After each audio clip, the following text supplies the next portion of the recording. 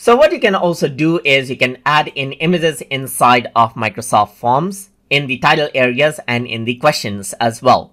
So to do that, you need to go around and click on the description right here. And once you do that over here, you can see an icon shows up uh, where which you can go around and click on to insert out image.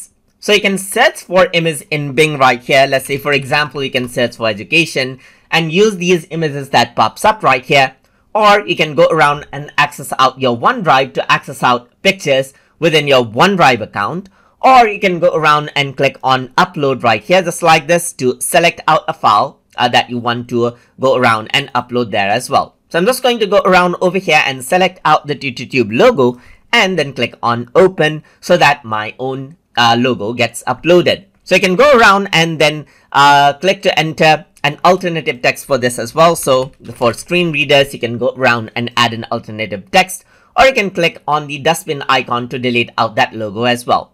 So this is what you have over here as you can see. So you got the uh, logo right here, the logo image and that is there. You can go around over here onto um, the question area as well and you can see that you can attach out images onto the question as well. So you can click over here and you can even insert out video as you can see right here. But I'm going to focus on inserting image first and then I'm going to go to upload and then select out another image right here. So let's just go around over here onto um, let's say for example the images folder and I'm just going to go around select out this image and the image is inserted over here as you can see. So this is what you have and you can also go around and change out let's say make the image large right here or small as per how you want.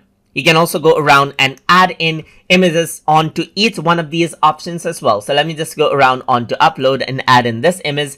And this is what you have as you can see. You can go around over here, make it let's say smaller or tighter right here. You can go around and zoom in and see certain section of the image as well. And the image is added in as an option over here as you can see. Microsoft Windows right here and you can add in another uh, another image for let's say Mac OS and so forth. So that is how you can go around and add in images, but I'm just going to go around and delete these out right here uh, because I don't want images on my question.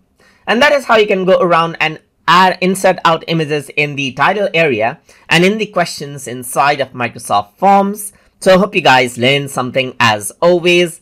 And as always, please like, comment, share, and subscribe.